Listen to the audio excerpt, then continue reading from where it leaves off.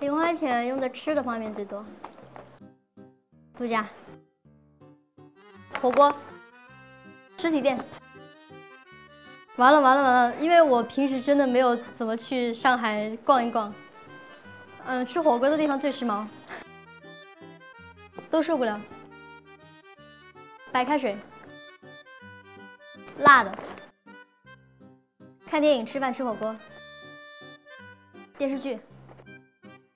大鱼海棠。九州天空城。八卦。你去哪玩了？呃，一半一半。潜水。冷漠。被动。女生的话，我喜欢小鲜肉。哎，等一下，很奇怪，不不能这样回答，搞得我好像真喜欢女生一样。就是团里的话，我就觉得小鲜肉很可爱，就是女生小小的就很可爱。男生阳光，吧。吃好喝好，睡好。